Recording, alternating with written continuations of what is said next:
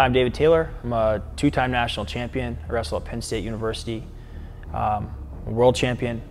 I'm an Olympic gold medalist. My, my goal was to, to win a World Olympic gold medals. Did that. My goal is to win another Olympic gold medal in 2024.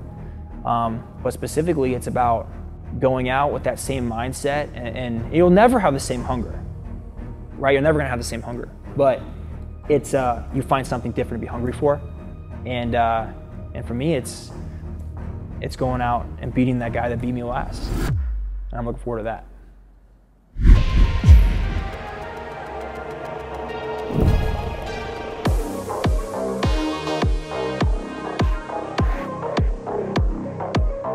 Down here in Coconut Creek at the beautiful American Top Team facility, uh, Steve Mocco is having a, a class. He's a coach down here. He's having a class this afternoon. I'm going to jump into the wrestling class, and I really appreciate the hospitality and letting us use the facilities.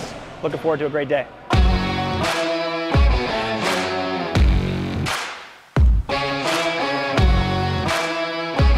Hi, I'm Steve Mocco, uh, wrestling coach at American Top Team.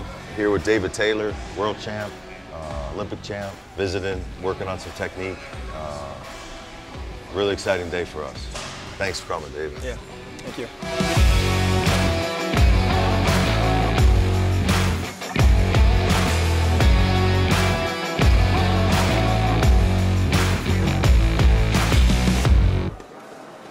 Yeah, this is pretty much like my real first week back training.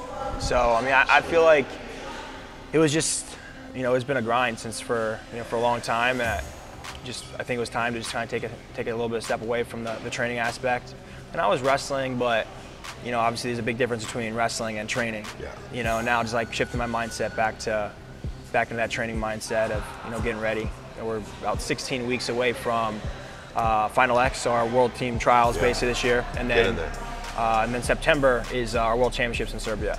Oh, wow. So you're like, this is like the beginning of your push for that. Yeah. How many uh, matches is Final X? It's a two out of three format. So the way that So you'll, whoever comes through, you'll get two out of three with. Yeah. Oh, that's awesome. I remember watching you wrestle in college. You're super slick and like pick guys out, but this year you were just like going straight through guys, right? yeah. Well, I think I was never, you know, as a younger, like I was never strong for as a like I was. I mean, I had wrestling strength, you know, like Yeah. you know what, situational strength, you know, Yeah. situational awareness. But in terms of just strength and power, I just never had that. You know, as I really put time into my strength and conditioning, you know, that that time, you know, just it builds. You know, if someone was going to say, you know, when I was at any age, like, hey, you're, you're going to win the Olympic gold medal with a double leg takedown, I'd be like, yep, no way. And taking him off his feet is uh, a, a punctuation at it, right? An Yeah. exclamation point.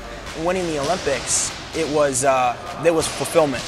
You know, I didn't have that like that emptiness of like I, there's still more to do. I had done everything I needed to do to be prepared. I had no doubts in my mind, and and I enjoyed every moment of it. Like in the tunnel, I was like super excited to run out there. I was excited to see like the little USA contingent that we had. You know, step on the mat. I wanted to go to war and battle, and I wanted to dominate these guys. I wanted to get off the mat. I wanted to get ready for the next one. Yeah. You know, so I wasn't taking any any moment for granted. You know, because you never know if you're going to be back there again.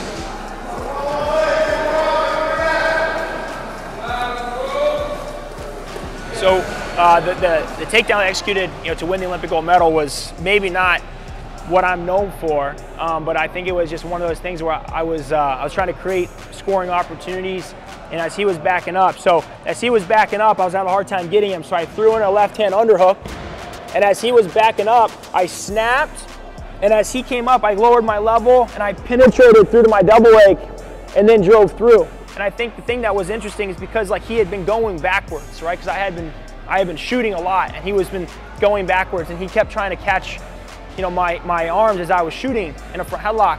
That I knocked him back on his heels, you know. So there wasn't a lot of resistance to the double leg because he was trying. He was so much like his butt was back. He was trying to keep me from scoring.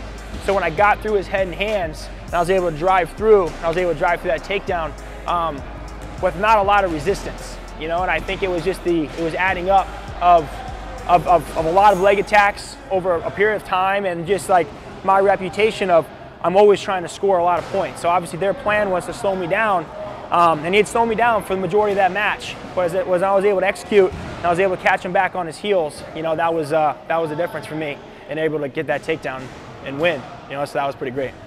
Olympics end and you have four years to the next one. Four years is a long time. Well, the way that this worked is we're only two years from making the team. You know, so we have two world championships between now and then. Our final X is June 8th. Best two out of three. Uh, I'm sitting in the finals, earned the right by being a medalist last year. So I'll wrestle whoever makes it through 86 kilos in the United States at the World Team Trials. I wrestle one person, in best two out of three format. The World Championships are in Serbia. The world hasn't changed. You know, Yazdani is the guy that I have to go beat. Russia's good. You know, there's good people in the United States. I mean, there's no um, no putting like the cart before the horse. You know, like it's gonna be hard to make the team. I haven't wrestled since uh, World Championships. You know, I, it took me a while to kind of get motivated and get back in there, but I'm the kind of guy when I step out there and I'm hungry, I get what I want. You know, and I, I'm hungry again.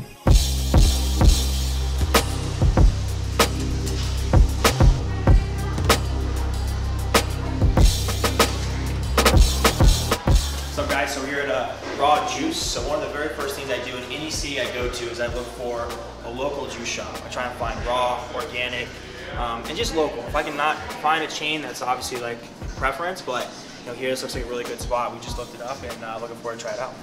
Uh, yeah, I always try and find like the most like green, like green veggie heavy juice that I can find. Most green will be definitely the point. Okay. It's mostly vegetables. All of them are cold pressed. It doesn't have any fruit, so there is no sugar added to it. So this is the most green, and the celery, but this is just a celery juice. Right. Really enjoy like supporting local businesses and especially ones that value really quality products. So. As you start to juice more, like when you first start, it's scary. You're like, oh my gosh, I'm gonna drink like celery and kale and spinach. Like I don't even eat that stuff. That's disgusting. But uh, you know, as you start like doing it, your palate changes, you know, and you actually like start to want really green heavy juices. But it's just the micronutrients are, are so powerful, um, good for your gut health. When you don't like juice very often and you juice, you just you, you like sometimes you uh, you pay for only back there. you know, it's like whoa, okay, here we go. It's good. It's cleaning out the garbage out here. Um, we training this morning, and we are ready to train this afternoon. It's, it's gonna be pretty cool. So, uh, so uh, I'm gonna train with Vitor Belfort. So he's um, he's in a new league, right? They have a new league on Triller where it's like it's a uh, it's a triangle boxing ring, and basically you can it's you can clinch and you can grab and you can tie up. So he wanted to work with an Olympic, basically Olympic level, you know, athlete that can teach him how to tie up. So I like reached out to me, wanted me to come down here and of work on like you know tie ups, collar ties, like how to control the arms and the head. And you know, obviously he's already an expert in punching, so like I'm, I'm not going to show him anything there. I just hope he doesn't punch me because I don't I'm not good there. But I think um, it should be fun. Be, you know, kind of a good experience, like mixing up some different training modalities while we're down here. Um, just being around like you know high level people people and just kind of just getting, getting experience and learning from people and um, getting to know obviously the, the live training crew better. That's pretty. That's been pretty fun. We rolled up to Vitor Belfort's house. Um, he's basically in charge of this new league called the Triad, where it's a triangular ring, but it's a mixture of boxing and upper body wrestling and he basically he just wanted me to come down and help him just kind of work through some hand fighting things and how to control hands and where to move people.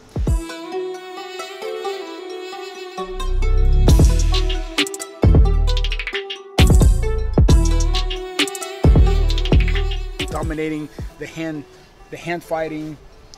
It's, that's what we're going to be doing here. I'm going to be learning from the best. So yeah. I'm looking forward.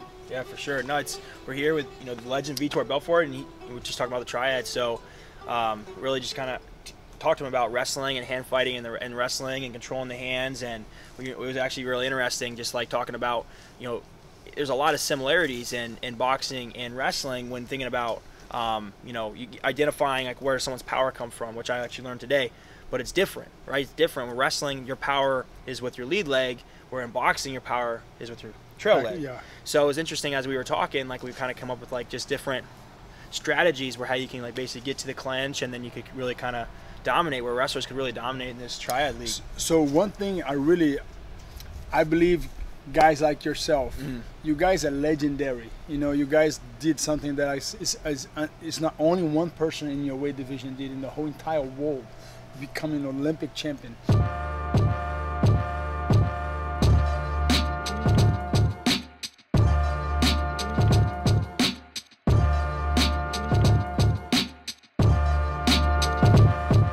So it's like, how can we combine? Are these fights going to be like 30 seconds?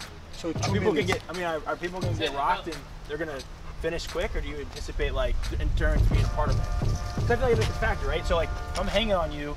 That's like endurance. Like I want to like tire you out like Yeah, long yes, term. yes. But do you think that they're going to go that long, or you so think they're eight gonna- rounds. But so do you think they're going to go eight rounds, or do you think people are going to just get rocked early?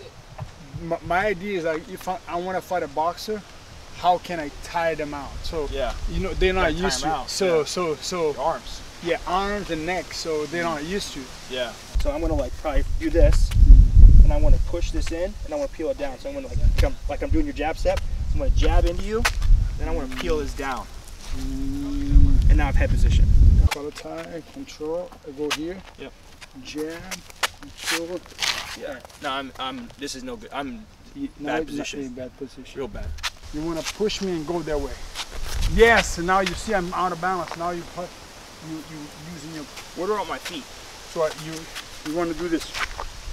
So you hold it, push, jab, and play. Yes, right there. you See? Yeah. Now now, I have to. The boxer, he has to turn. So so now you're pushing against me. Now you're gonna take this hand. Now you're gonna overhand. Boom.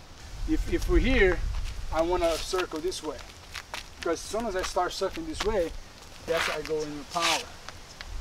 So you want to get you want to get to my backside. Yeah, so as But soon as I go, when I go inside, I have to go opposite. So thinking about, I go this way, this way, but as soon as I go inside, I want to go this way. Yeah. I think this is like I'm kind of like crowding you, yeah. right? And I'm, I'm doing this because I want you to square up with me, Yeah, right? Bam. yeah, boom. But I think this is just the more controlling, where I'm just trying to like So if you want to control, you go here. Mm. Yeah. bringing in a Greco wrestler would be really helpful for this league because all mm. this stuff is like what they do. My wrestling is like much more shooting. Like, Sure. like I do a lot of tying up and stuff, but we're bent over, so Yeah. it's different. Like when you're standing up, Cracker is standing up, standing up, hip, hip inside. hip to hip, yeah. So yeah, we just want to welcome you know Vitor to the live train platform, and you know it's pretty amazing what we can do. Just to think about, you know, with our followings and with our successes, now we can now access people all over the world. You know, we, can be in one place, we can have the information, like the conversation that we have, and it's accessible to, to everybody. So what do you think about that? I think it's fantastic. So my dream has always been to empower people. One one of my mentors asked Victor, if you have all the money in the world, what do you choose to do? And it took me time to change. Say, I don't want to retire in Hawaii and just not do anything. My dream was to be able to empower the next generation to become better. And I think is that being said, it's awesome to be able to share my knowledge and and live training. It's a great platform. I'm so proud to be part of an Olympic champion like you, man. this is this is the life life dream for me. Oh, it's great. I think we can create some really cool content, and we can definitely influence a lot of people and change their lives. Looking forward to that. hundred percent. Thank you very much, Yeah, man. thank you.